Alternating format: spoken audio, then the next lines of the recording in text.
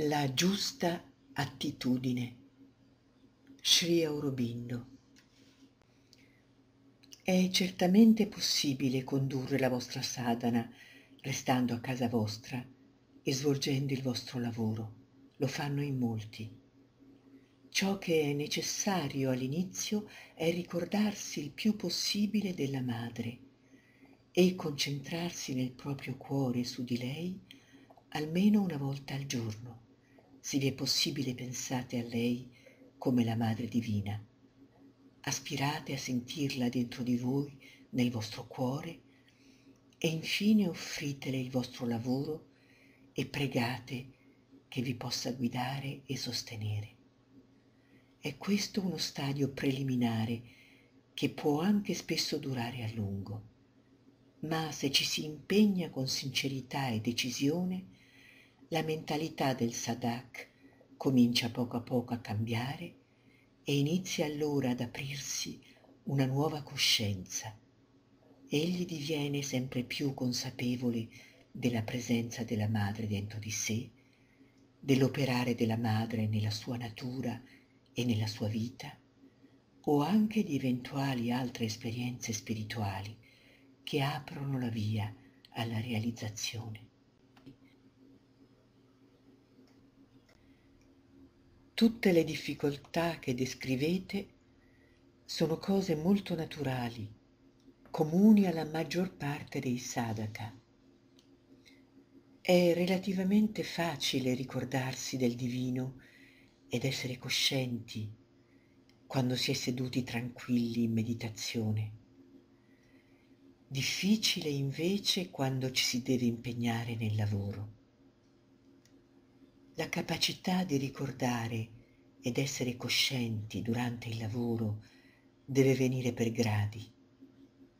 Non dovete aspettarvi di ottenerla tutta in una volta. Nessuno può ottenerla completamente subito. Essa viene in due modi. Innanzitutto ci si abitua a ricordare la madre e ogni volta che si fa qualcosa a offrirle il lavoro, non per tutto il tempo, ma all'inizio e ogni volta che ci si ricorda. Allora poco per volta diventa una cosa facile e abituale.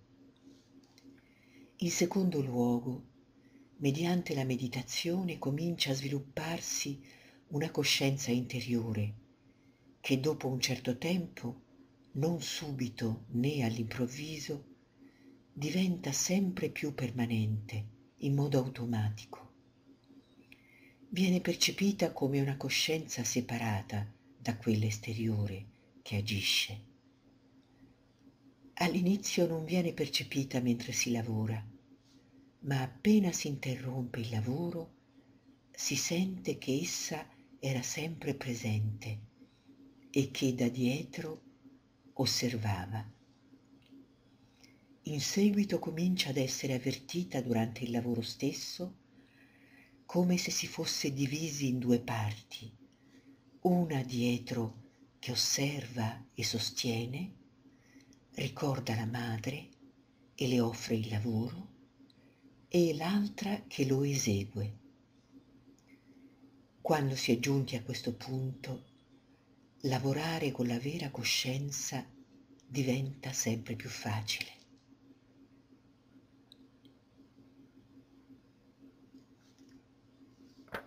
La madre. Una domanda. Quando siamo concentrati nei movimenti della mente o nelle speculazioni intellettuali, perché dimentichiamo a volte il divino o perdiamo il contatto con lui? Perdete il contatto perché la vostra coscienza è ancora divisa.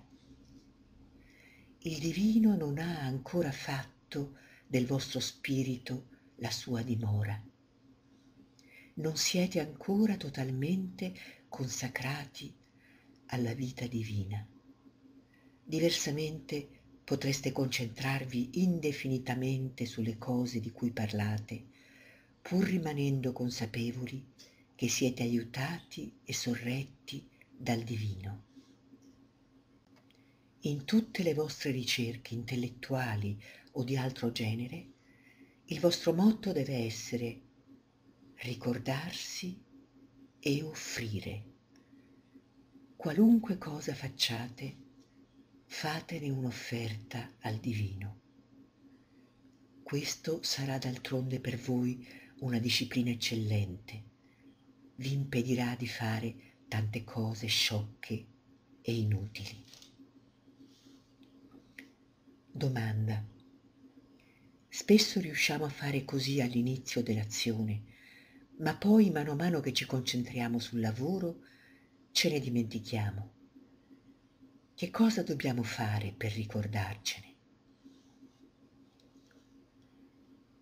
La condizione alla quale bisogna tendere, il reale compimento dello yoga, la perfezione e il raggiungimento ultimi di cui tutto il resto è solo una preparazione, è uno stato di coscienza in cui è impossibile fare anche la minima cosa senza il divino, poiché senza il divino la fonte stessa della vostra azione sparisce.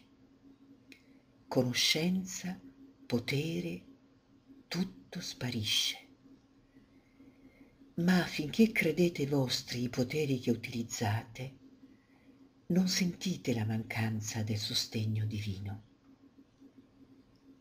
All'inizio dello yoga si è portati a dimenticare molto spesso il divino ma con una costante aspirazione la memoria aumenta e si dimentica sempre meno. Tuttavia, per mantenere viva questa aspirazione, non si deve ricorrere ad una disciplina severa o farne un dovere rigoroso.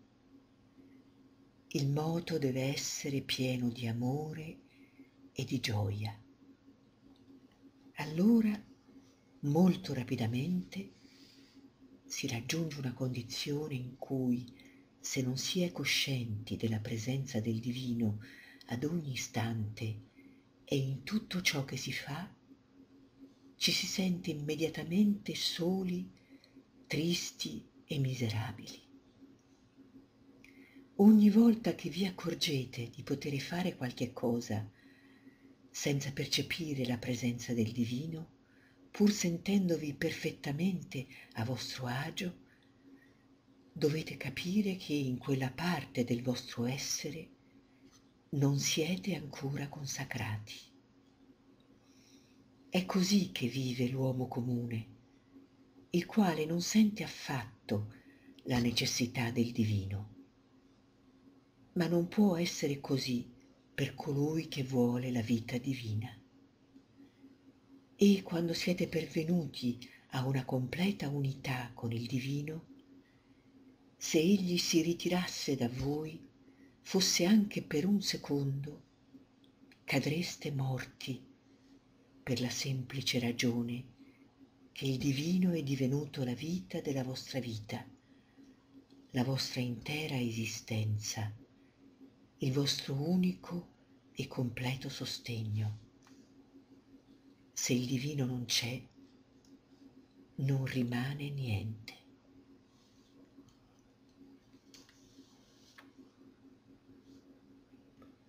Anche nel lavoro vi è un'austerità. Consiste nel non avere preferenze e nel fare con interesse tutto ciò che si fa. Per colui che vuole perfezionarsi, non vi sono lavori grandi o piccoli, lavori importanti e altri no. Tutti sono ugualmente utili per colui che aspira a essere padrone di sé e a progredire. Si dice che si fa bene solo ciò che si fa con interesse. È vero, ma è ancora più vero che si può imparare a trovare interesse in tutto ciò che si fa, anche nei lavori in apparenza più insignificanti. Il segreto di tale conseguimento sta nello slancio verso la perfezione. Qualunque sia l'occupazione o il compito che ci venga affidato, bisogna compierlo con una volontà di progresso. Qualunque cosa si faccia, bisogna non solo farla il meglio possibile, ma impegnarsi a farla sempre meglio in uno sforzo costante verso la perfezione. In questo modo tutto diventa interessante, tutto senza eccezione, tanto i lavori più materiali quanto quelli più artistici e intellettuali. Il campo di progresso è infinito e può applicarsi alle più piccole cose.